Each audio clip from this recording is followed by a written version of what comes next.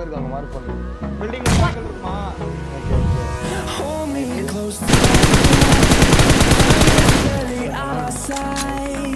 ஷாப்புக்கு